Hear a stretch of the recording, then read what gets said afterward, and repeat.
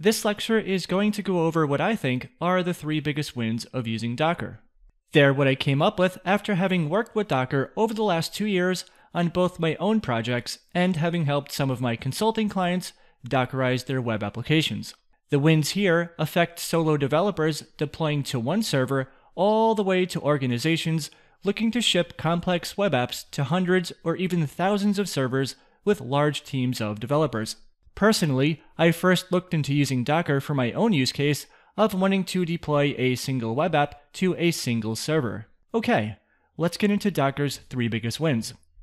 The first one is helping you save both time and money. Docker is really efficient when it comes to using your system's resources to help you isolate and manage your applications. And what I mean by isolation is Docker lets you run an application on a specific machine in a way where it won't meddle with other apps on the same machine. This machine could be your development laptop or a server on the cloud. Imagine the scenario where you're a web developer and you have 12 different apps that you've developed over the years. Each one has its own set of dependencies. These apps could be written in Rails, Node.js, Django, or any other language or web framework. It doesn't matter. Virtual machines can help you isolate all those applications, but at what cost? You need to lug around a massive guest operating system for each application, and that's a tremendous amount of wasted resources. Perhaps somewhere down the line, you've heard of people talk about using Vagrant to isolate apps. But under the hood, it's just managing a virtual machine for you. The wastefulness is still there. If you don't know what Vagrant is, don't worry about it. It's just a tool that lets you create and manage virtual machines on the command line. Well, that's mostly true. Technically, Vagrant has a provider that lets you manage Docker containers too, but that's not important, and we won't be using any of that in this course. It's completely unnecessary. Anyways, back to wasting resources. Imagine your poor SSD on your development box if you were managing a dozen projects for all of your clients and personal projects with Vagrant. The problem is, each one of these Vagrant boxes might be 700 megs in size. If you factor in having 12 projects, that's going to be about 8.5 gigs of hard drive space taken up to keep everything in isolation. The more projects you have, the faster your disk space is going to get eaten up. Docker fixes that problem, and here's how. Let's say that you wanted to run those 12 web apps with Docker instead. Instead of duplicating everything, Docker will intelligently share the common ground between these projects you may end up only paying the disk space cost for each project's package dependencies and unique data. It's impossible to gauge the exact savings because every application is different, but a 10x improvement on disk space alone isn't out of the question. We'll go over how this is possible by the time you finish this course. And then there's always production. If you are renting 100 servers on the cloud, wouldn't you want to ensure that you use all of your resources rather than waste it on virtual machine overhead? With virtual machines, you could be throwing away hundreds or even thousands of dollars per month due to wasted resources. Now let's talk about how you can save time. Docker is very efficient. Instead of having to provision a virtual machine and wait 30 seconds for it to boot up, your Docker containers will happily start in milliseconds. Realistically, that means you can start up a multi service web application with one command in about 2 seconds flat. And I'm not just talking about a Hello World app here, too.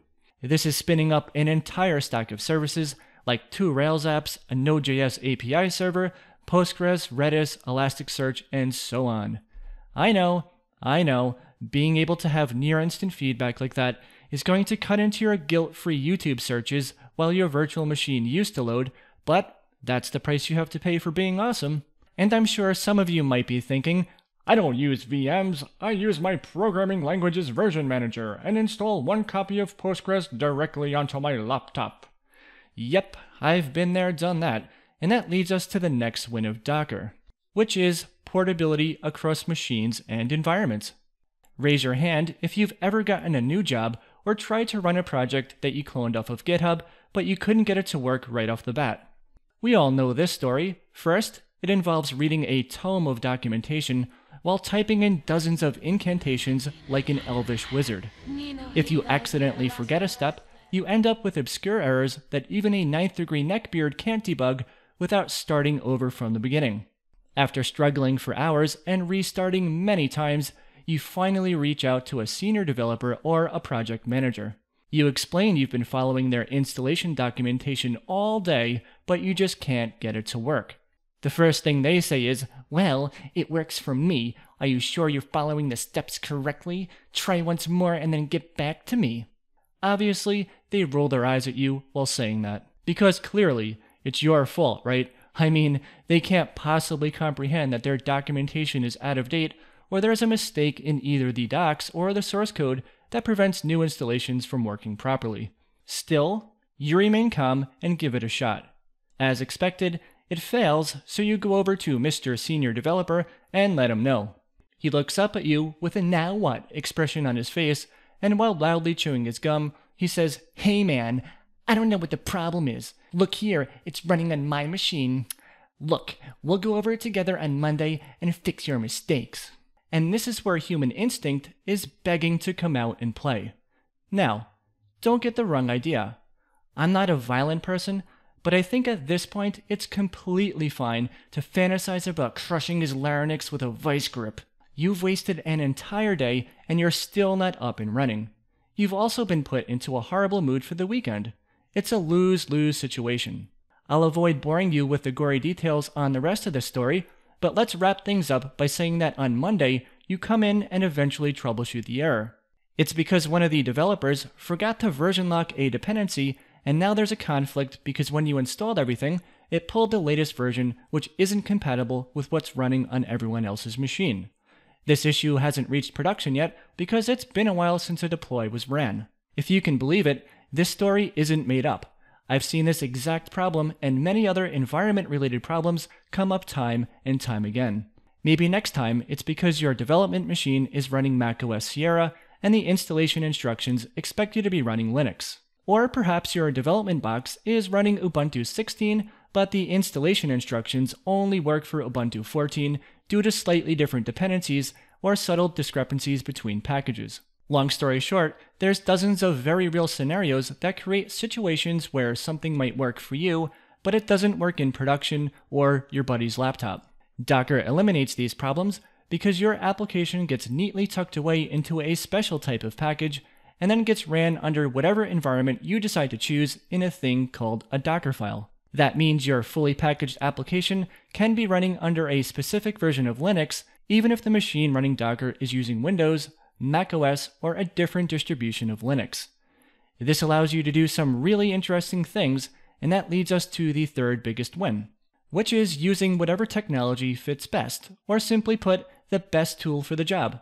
Once the burden of having to install an application and its dependencies are removed, then you can become much more aggressive with trying out new technologies. If you've ever worked with Ruby or Python, then you know how troublesome it can be to set up a working development environment. You may even be discouraged from trying them out because you have vivid memories of you failing for two days while you tried to get RVM or something similar working. So you've trained yourself to only stick with technologies that are familiar to you. Being free to choose whatever technology works best for your project is very empowering. It lets you experiment with new web frameworks and services without having to feel the pains of installation complications or feeling like you're polluting your main system with a bunch of services that you may not use. For example, I've been recently teaching myself Elixir. I was able to get the latest version of Elixir up and running in my development environment within two minutes of running a single command. That's two minutes to go from not having Elixir installed to having a version controlled instance of Elixir running in a REPL.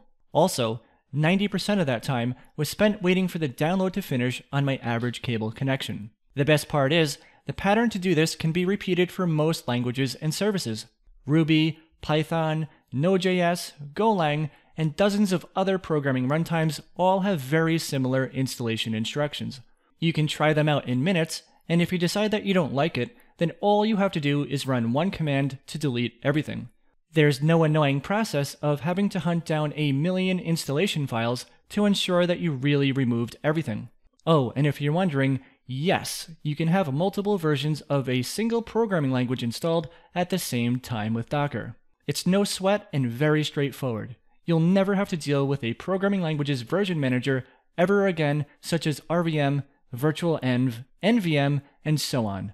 Over the years of having used Docker, I feel like it has also helped me create better architectures for my applications. Now I design my apps in such a way that I know I'm free to try new things out.